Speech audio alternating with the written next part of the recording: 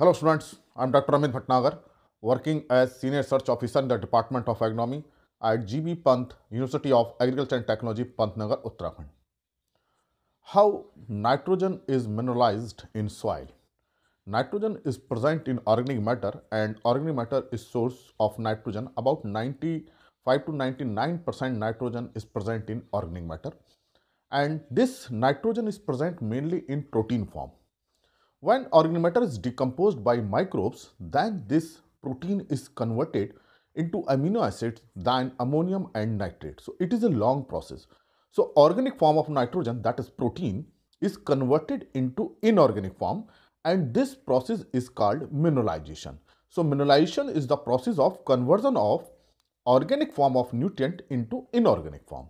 When plant absorb the nutrient, generally nitrogen, phosphorus, sulfur, these converted into organic form like nitrogen protein, phosphorus in phytic acid and ATP, ADP, nucleic acid, sulfur in proteins.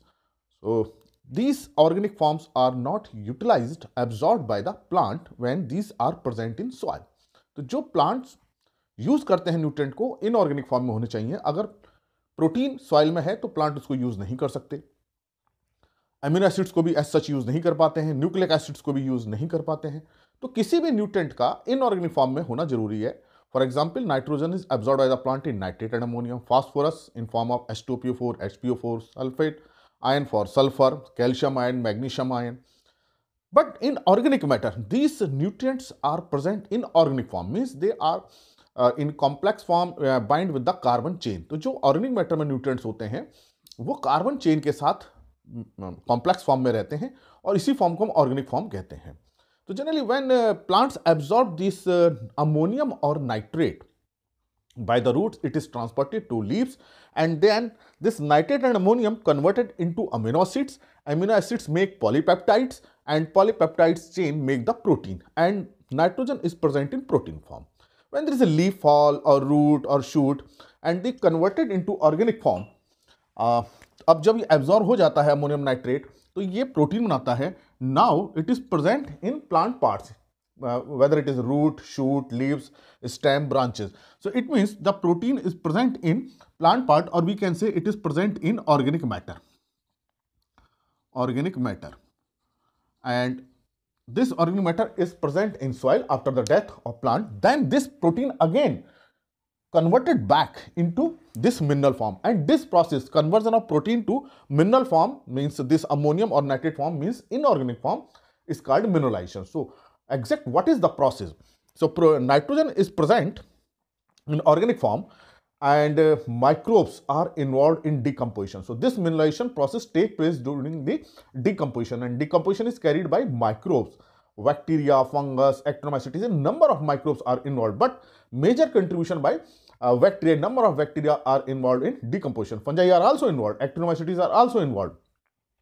So first of all, there is a uh, conversion of protein into polypeptide. Actually, protein are composed of uh, um, many uh, polypeptide chains are there and it make uh, proteins. So first is hydrolysis is there. It react with the water. So first process is hydrolysis and by the hydrolysis, lysis means breakdown, hydro means in presence of water, so break down into polypeptides. So polypeptides formation is there means this protein break down into polypeptide. तो ये water के साथ reaction होगा protein का water को observe और वो protein जो पॉलीपेप्टाइड चेन की बनी हो पॉलीपेप्टाइड चेन्स अलग हो जाएँगी and microbes are involve there is there microbes are must बिना माइक्रोब्स के ऑर्गमेटर uh, डिकम्पोजिशन नहीं होता है मैंने माइक्रोस बताया कौन से बैक्टीरिया है फंगस है एक्ट्रोमाइसिटीज है then another step is this polypeptides composed of uh, many amino acids. So 20 amino acids are there uh, which make this polypeptide by peptide formation. तो जो कार्बन का आइटम है कार्बन और nitrogen के item जोड़ करके polypeptide बनाते हैं पेप्टाइड बॉन्ड्स होते हैं तो ये जो पॉलीपेप्टाइड्स हैं इनका पेप्टाइड बॉन्ड ब्रेक होता है एमिनो एसिड्स रिलीज़ होते हैं twenty type of lysine tryptophan methionine methionine cysteine cysteine बहुत एमिनो एसिड्स हैं twenty types of amino acids are there so this is the conversion of polypeptide into amino acids and this process is called aminization and this take place also in the presence of microbes so bacteria fungus bacteria are involved in conversion of polypeptide into amino acids. तो पहले process में क्या होगा? Protein polypeptide में टूटेंगी। ये सारा किसमें हो रहा है? सॉइल में हो रहा है। कौन कर रहा है? माइक्रोब्स कर रहे हैं। वाटर मस्ट है। पॉलीपेप्टाइड किसमें टूटेंगे? अमीनो एसिड्स में टूटेंगे। और कितने अमीनो एसिड्स हैं? ट्वेंटी अमीनो एसिड्स हैं। वो टूट के सॉइल में आ जाएँगे। And that process is called amination इस प्रोसेस को एमिनेशन कहते हैं। देन अमीनो एसिड्स जो भी रिलीज़ अब सॉइल के अंदर रिलीज़ हुए, जो भी अमीनो एसिड्स हैं, they are converted into ammonium ion and this process is called ammonification. So ammonification is conversion of conversion of amino acids into ammonium ion. Now this is the mineral form, this is the inorganic form which is absorbed by the plant. So amino acids in organic form, polypeptide organic form, protein organic form. So these are organic forms. So first inorganic form is ammonium ion and bacteria are involved, fungus is involved. Mainly bacteria are involved in nitrogen mineralization. Then ammonium is present. Now this ammonium is used by the plant. It, this is also used by microbes.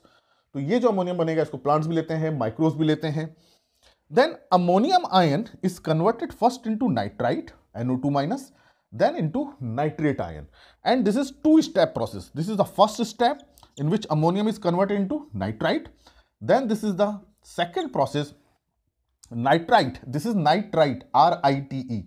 This is R-A-T-E. So this is the spelling difference. NO2 is nitrite and NO3 is nitrate. So this is two-step process. So this process is known as nitrification because nitrate ions are formed. So this is the two-step process. Ammonium ions are converted into nitrite, then nitrate ion. But this nitrite are toxic. Then this nitrite rapidly converted into nitrate ion and this process is taken place by the help of bacteria. In the first process, Nitrosomonas bacteria is dominant. Other bacteria are also present, but the major one is Nitrosomonas and it is generally asked in examination Nitrosomonas important है उसके अलावा दूसरे भी होते हैं नाइट्रोसोब्लस भी होते हैं नाइट्रोसोबिब्रो भी होते हैं लेकिन जो मेजर है that is Nitrosomonas and in this it is the nitrobacter. तो in first step nitrosomonas in second step nitrobacter is in actually this is the oxidation this N H four is convert into O two so here it is the is in so here oxygen is in so it is oxidation process so nitrification is oxidation process and mediated by nitrosomonas तो ये biological oxidation हम कह सकते हैं. This is biological oxidation and bacteria presence is must अगर bacteria नहीं है तो ये प्रोसेस नहीं होगा। And this process second process is faster than first process the result is that nitrites do not accumulate into the soil तो ये पहला, जो सेकंड प्रोसेस है बहुत फास्ट होता है। नाइट्राइट से नाइट्रेट एकदम बनते हैं और ये अमोनियम से धीरे धीरे बनते हैं। तो जो नाइट्राइट बनते हैं, तुरंत इसमें कन्वर्ट हो जाते हैं नाइट्रेट में हो जाते हैं। तो इसी कारण से ये नाइट्राइट सॉइल में एक्मुलेट नहीं होता है। अगर ये एक्मुलेट हो गया तो प्लांट्स के लिए टॉक्सिक होता है। तो ये प्रॉब्लम क्रिएट करेगा, लेकिन in soil aerobic conditions are there that's why this is the fast process so oxygen is must and this oxygen is available when there is aerobic condition tilled field is there अगर हमने tillage कर रखी है proper aeration है तो ये process fast होगा. Suppose there are anaerobic condition like water logging is there wet is there heavy rains are there heavy irrigation are there there is deficiency of oxygen then anaerobic condition exist and then this process become slow. तो ऐसी condition में nitrification slow हो जाता है। तो जिन में tillage होती रहती है इंटर कल्टिवेशन करते रहते हैं, या वाटर लॉगिंग नहीं होती है, वहाँ ये प्रोसेस फास्ट होता है और नाइट्रेट प्रेजेंट रहता है। तो this is the reason that ammonium converted into nitrate ion under aerobic condition तो जो भी जनरली हमारे सवाल में एरोबिक कंडीशन ही होती है, क्योंकि पानी नहीं भरा रहता वाटर लॉक कंडीशन नहीं होती है, तभी होगी एनरोबिक जब उसमें पानी भरा हो। तो ये रीजन होता है जनरली हमारे फ़ील्ड में अमोनियम आयन का कंसंट्रेशन का रहेगा, कम रहेगा, क्योंकि this ammonium is converted into nitrate ion and nitrate ion dominate over ammonium ion तो इसी कारण से प्लांट्स किसको लेते हैं फिर? नाइट्रेट को लेते हैं, क्योंकि इनकी डोमिनेंस ज़्यादा है। But this nitrate ion subjected to leaching अगर नाइट्रेट आयन एब्जॉर्ब नहीं हुए प्लांट ने, नहीं लिए तो क्या होता है? लीच कर जाते हैं। तो ये अगर nitrification process is fast then there chances that nitrate में leach down so this is the process that how organic form of nitrogen protein is converted into ammonium ion and nitrate ion. And bacteria involvement uh, is very important. And the bacteria work at uh, pH, where pH is very important. neutral to slightly alkaline condition. So the favorable condition for this condition is uh, first is oxidized condition. Oxidized condition in mineralization is fast. Number two, soil pH is very important. Actually, pH neutral to slightly alkaline If pH is uh, 7 to uh, 8, in between 7 to 8, uh, then this reaction is fast. We can say mineralization is fast because major contribution is by bacteria तो जो nitrogen transformation है किसके द्वारा हो रहा है maximum bacteria के द्वारा हो रहा है ऐसा नहीं है कि फंगस इन्वॉल्व नहीं है but contribution of fungus is very less under acidic condition this bacteria activity will be less so mineralization will be less so nitrogen availability will be poor third uh, one is the temperature is very important factor actually this is total is microbial process and this fungus bacteria nitrosomonas nitrobacter actually these are mesophilic एक इनको medium range का temperature चाहिए ना बहुत कम चाहिए ना बहुत ज़्यादा चाहिए so temperature range is about 25 to 35 degree centigrade then this mineralization process is fast. So these are the favorable condition which favor the uh, this uh, nitrogen mineralization.